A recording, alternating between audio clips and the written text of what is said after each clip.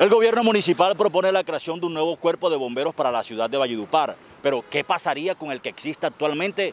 Hablamos con el comandante del Cuerpo de Bomberos Voluntarios de Valledupar, Omar Prieto, y esto fue lo que nos dijo. En virtud de lo establecido en el artículo 3, en el inciso 4 de la ley 1575 de 2012, establece que el municipio de Valledupar está en todo su derecho para poder eh, desarrollar a través del Consejo Municipal la creación de cuerpo oficial de bomberos. Esa es una pregunta que viene relacionado con el tema económico y financiero de la institución, en la virtud de que podamos eh, sanear cada día las arcas del cuerpo de bomberos voluntarios y poder lograr una eficiencia administrativa y operativa, pues lo más evidente es que la institución siga adelante. Ellos eh, desarrollan la iniciativa porque están facultados por la constitución política, que es nuestra Carta Magna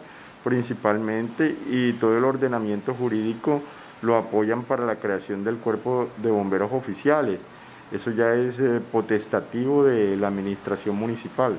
Para crear eh, la estabilidad tendríamos que desarrollar líneas de negocio, de manera que pudieran percibirse ingresos de manera directa, con los cuales se pudiera sostener en el tiempo la institución Cuerpo de Bomberos Voluntarios de Valledupar. En estos momentos eh, acabamos de suscribir eh, el día 22 de abril un contrato con la administración municipal y ya estamos gestionando todo lo relacionado con el anticipo correspondiente para darle trámite y consecución al pago de salarios, que es la creencia más relevante y de mayor sensibilidad que tiene la institución en estos momentos.